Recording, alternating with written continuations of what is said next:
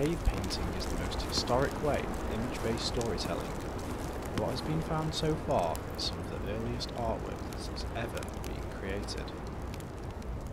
Most of the art dates back to the Ice Age, which happened between 40,000 and 14,000 years ago.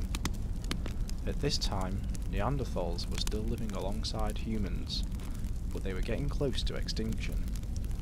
Caves provide the shelter against the harsh climate of the Ice Age, as well as a canvas to start recording what they had seen or done. There are around 400 caves located across Europe and Southeast Asia, with most being found in France and Spain.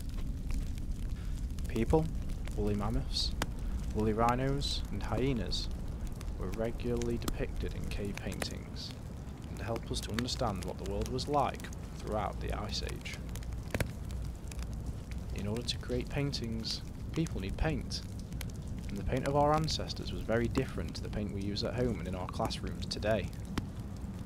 They made paint using different types of earth for red, yellow and brown colours, and charcoal for black. These materials were then mixed with either animal fats, blood, or saliva. They don't sound like the most durable materials, do they? But as these paintings are still standing today, we think our ancestors did a good job with the resources available to them, don't you think? How do you think people put the paint on the walls? Well, it definitely wasn't with a paintbrush. They did use their fingers and hands, which we imagine was quite fun. But remember, our ancestors were smarter than we give them credit for. They created tools. They sprayed the paint onto the walls by blowing it through hollowed out animal bones.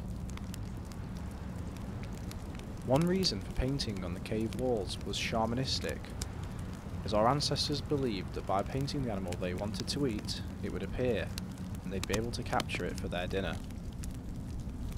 However, the main reason for cave painting was similar to how humans now create art, to communicate. It was a way of telling people that I saw this, or I was here, just like people do today when they upload something to YouTube.